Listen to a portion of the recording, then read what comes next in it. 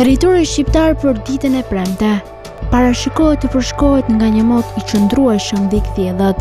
Sipas parashikimeve, temperatura maksimale do të jetë 22 gradë Celsius, ndërsa temperatura minimale parashikohet të jetë 3 gradë Celsius.